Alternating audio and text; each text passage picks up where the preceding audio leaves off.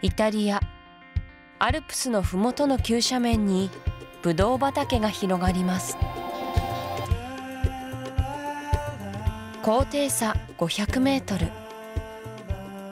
場所によっては断崖絶壁です。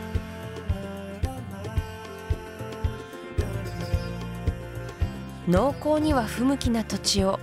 人は何世紀にも及ぶ努力の末に世界に誇るブドウ畑に変えました。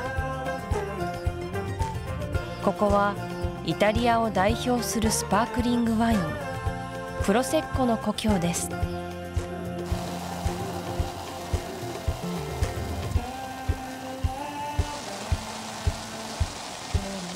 世界遺産アルプスが育むブドウ畑の絶景。5日午後6時。